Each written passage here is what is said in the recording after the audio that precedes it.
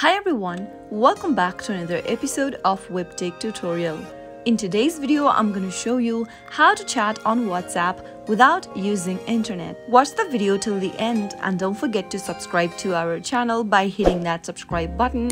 Press the notification bell so that you'll never miss another upcoming upload from us. It is possible to use WhatsApp without an internet connection by using a proxy server. Simply go ahead and tap open WhatsApp application from your app drawer and make sure that you are logged in. From the main chat page, tap on the settings button at the bottom right and now tap on storage and data under network tap the proxy option. Enable the button right next to use proxy and enter the proxy server that you have an access to and connect. After you type in your proxy address, tap on done, wait until it connects and now, after connecting to a different proxy, even if you turn off your data or your internet, you might be able to chat on WhatsApp with the help of that proxy server. That way, after you've typed in the proxy server address and get connected to that server, you should be able to use WhatsApp as normal without internet. That is the only way you'll be able to chat on WhatsApp without internet.